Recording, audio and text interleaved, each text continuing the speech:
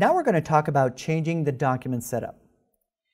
We created a document earlier today and I chose to have three pages. I chose the margin settings I wanted. I chose the bleed that I wanted. I chose all these different options that are available to us within the document creation window. However, let's say I decided that something needed to change. Maybe I didn't want the slug anymore, or the bleed size I found out from my commercial printer that it needs to be a different size. All of that can be changed after the fact. If I go to the File menu on the menu bar, I can go down to Document Setup. In the list, choosing Document Setup brings up a dialog box to change the document information. Now, everything you see here is pretty much what I saw before, excluding one element, and that's the column information. And we'll look at that in a moment. But I can change the print intent from web, from print to web or mobile device. I can change the number of pages, whether they're facing or not. So for example, if I choose no facing pages and I click OK, now instead of having three pages on two spreads, I have three pages on three spreads. So this content can be adapted and changed after the fact. You're not stuck with what you set at the beginning. You don't have to start all over again.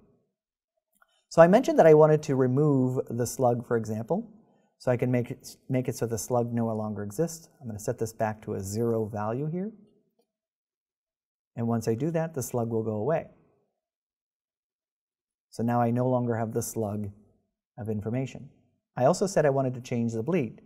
Changing the bleed to an eighth inch, for example, I can reduce this down to 0.125. That'll be an eighth inch bleed all around when I hit tab. Because of the constrained proportions, they all get the same unit of measurement. Now keep in mind that if you have content on your page already and you're making changes, for example, to the page size, maybe I'm changing it from landscape to portrait or vice versa. That content is not going to reflow in the layout. You're going to have to go in and do some work. So that's something to keep in mind. But to start, I've now reduced the size of the bleed, I've removed the slug, and I've set it back to facing pages. So there's my facing pages on the second spread.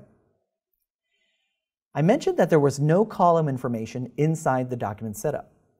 That's because the column guides are part of the layout that we're looking at. The layout is on the layout menu. In the layout menu, we can see the second option from the top is margins and columns. When I click on margins and columns, I get a new dialog box. Now we can see margins and columns are here, but we also had margins and columns on the other screen. So you have two places where you can change that at this time. It used to be margins and columns was only here with the columns information. So it's new, it's recent that it's applied to that document setup page. The number of columns can be changed.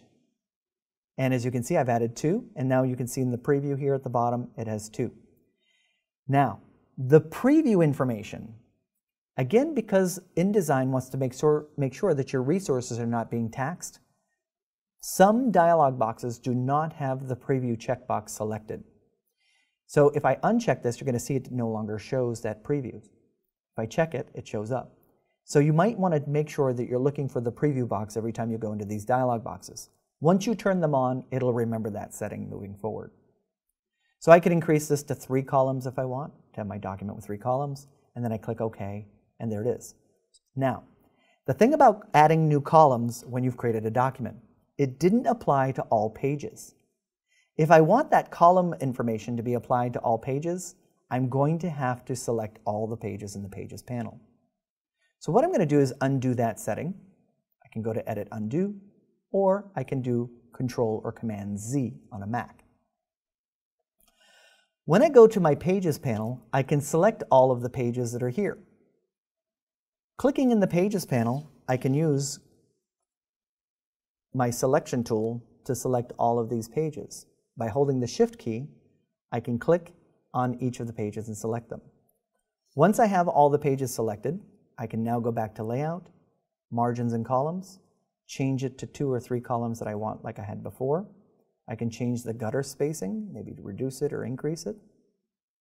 Once I click OK, you can see it's applied to page one, but now it's also applied to page two and three. So when working with changes like margins and columns, you'll want to make sure that you have all pages selected within your document after the fact.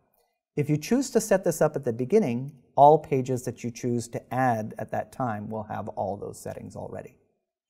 So changing the setup of the information for your document can be done once you've started your project. Just remember, any content you've added is going to need to be reflowed throughout that document.